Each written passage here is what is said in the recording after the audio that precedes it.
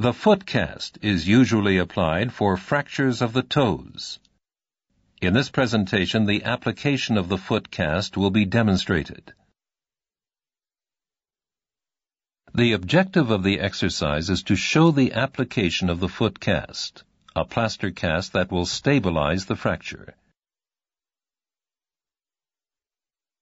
The foot cast is indicated for fractures of the toes.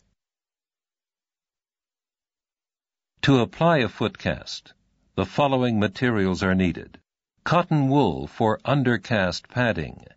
Scissors. A plaster slab, generally five layers thick and available in differing widths. A crepe bandage to secure the plaster slab. And water, or another wetting agent. The water should be tepid or lukewarm with an ideal temperature of between 22 and 25 degrees Celsius. It should be noted that colder water or a bandage that is wetter will allow for an increased working time, while warmer water or a bandage that is drier reduces the working time. The patient should be seated with the lower leg over the edge of the table. Following the oblique line of the toes, the cotton wool is gently wound twice around the foot.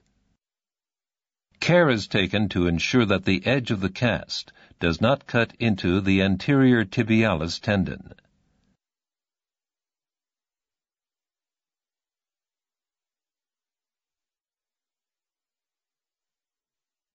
An extra piece of padding is placed over the bunion area.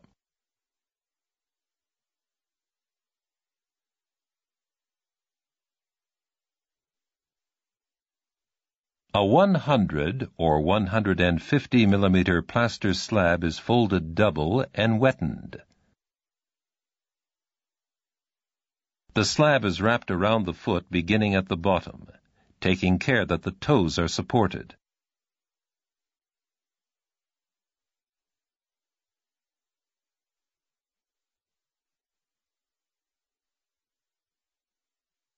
The cotton wool is folded over the proximal edge. To secure the slab, a crepe bandage is wound on around the foot, then around the ankle several times in a figure of eight, making sure that the edge does not cut into the 90 degree bend of the ankle.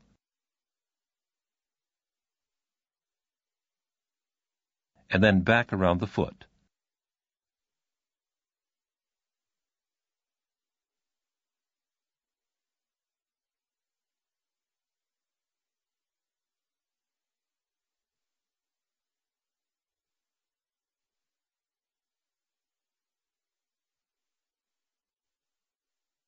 To mold the plaster, one hand supports the metatarsal heads, with the other hand above the toes, and pressure is applied until the plaster has set, as shown here. The bottom should be flat, allowing the patient to walk. The type of injury determines if the patient may walk on the foot.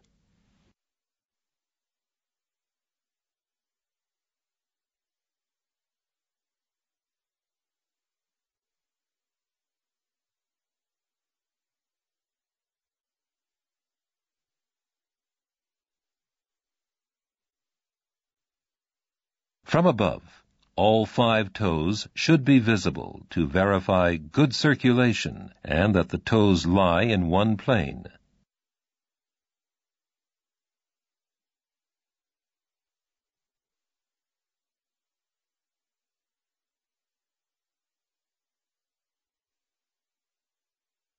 The application of the foot cast is now complete. The exercises for the patient may now be explained and demonstrated. They include foot pumps,